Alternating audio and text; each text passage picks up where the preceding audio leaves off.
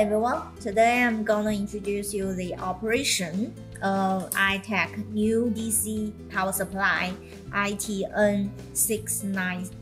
Uh, this is a 150 volt, 10 amperes and 1500 watt DC power supply. And this power supply is a uh, linear combined with switch power supply. So it has very low ripple and noise and high current accuracy. And you can see when it is turned on, uh, it will go directly into the measure uh, menu and we call it meter. Uh, if you uh, press the menu and you can see it's a first button to go into this meter or measure uh, interface. When we go to the uh, meter interface, uh, you can see here we can set the I range to high uh, current measuring range, that is 10 amperes. Uh, auto range or low, low, that is 20 milliamperes range. Okay, uh, let's stay to the auto range. And here we can see the OVP over voltage protection is turned off and the over current protection is turned on and this setting, uh, detailed setting can be set uh, in the protection manual. And later I will introduce you about this and slew rate, uh, the voltage slew rate and the current slew rate. Here, uh, the unit is second, and you can also set the voltage per second. And the setting can also be set in the configure uh, menu. And later I will show you uh, timer.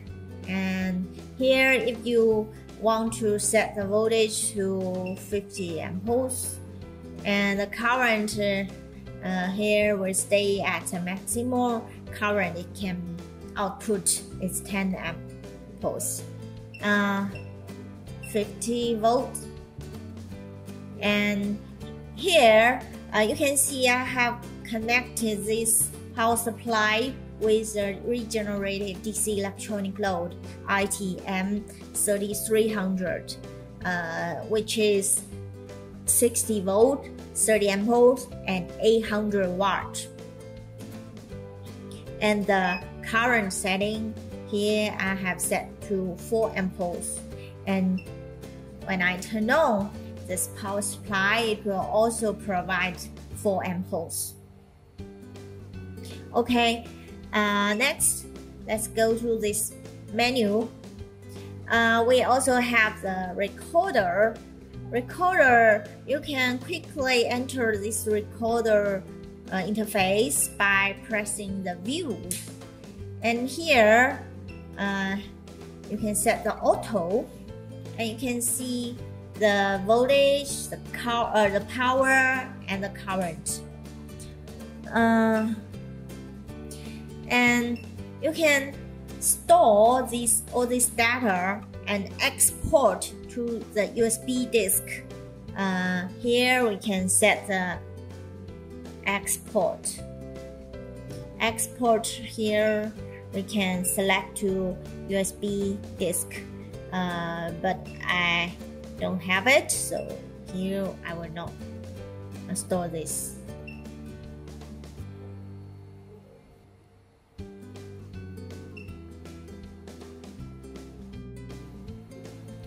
Okay, let's go to the system to see uh, what we can set. The system, uh, we can set the key sound not immediately display or uh, delayed. The HD LCD brightness, the trigger source, manual or automatic um, trigger port, and here the settings, basic settings. And then interface setting, uh, information of this instrument. Okay, and we can go to the menu to set the configure or just uh, press Shift and 1 to uh, go to configure uh, directly. Here we can set the current range. Uh, for example, to def the default current range, we can set to high or to auto. Uh, the measuring speed, slow, medium, fast. The priority setting, that is CCCV priority setting. Uh, the default setting is voltage and the slew rate. Uh, either you can select time or slew rate. If you select slew rate, you can see the through up, speed. The unit will turn to voltage per millisecond. Also, the down slew rate, uh, the unit will also change. Okay, that is configure. Uh, let's see the list program. Uh, most people will use the shortcut Shift and press 6 to go directly into the list program. Open the saved the preset program you have uh, stored in this instrument. You can uh, just edit it.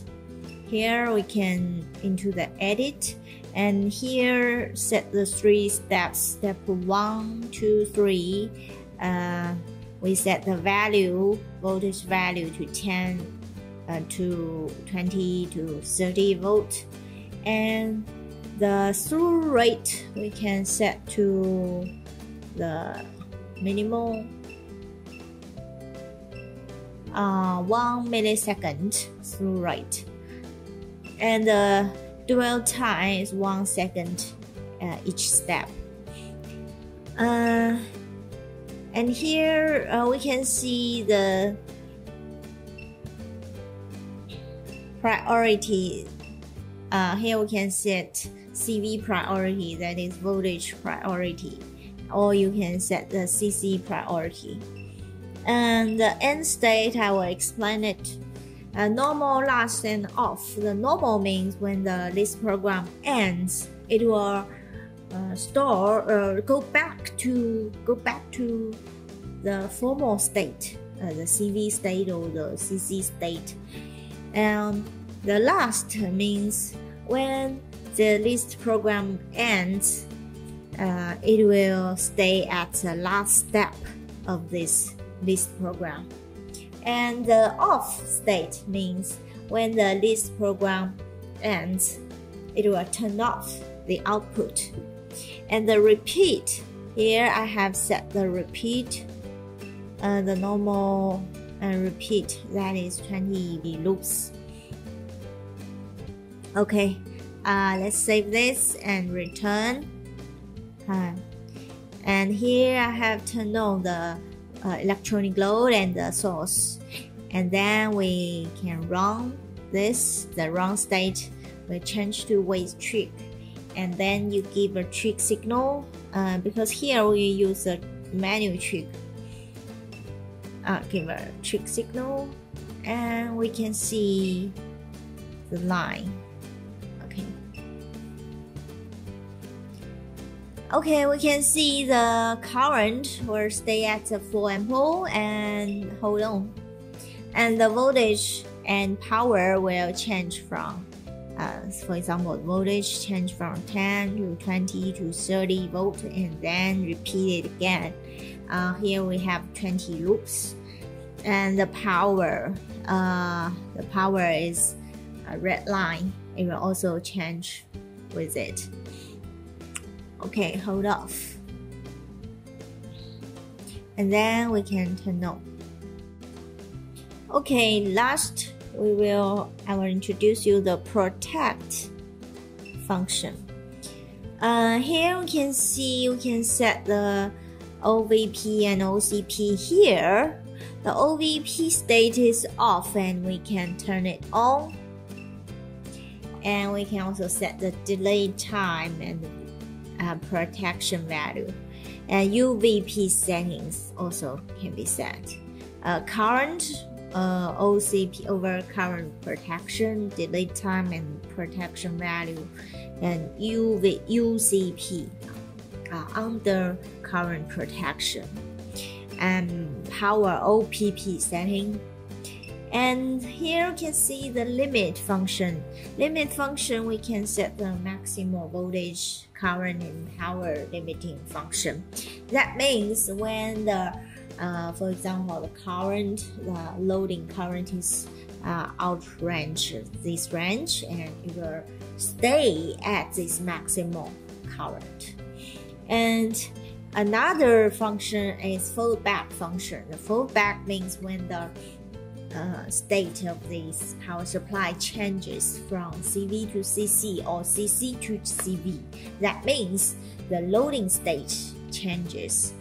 Uh, and then it will protect. That means after the delay time, it will automatically turn off this power supply to protect the DUT. Okay, uh, that's all for this introduction.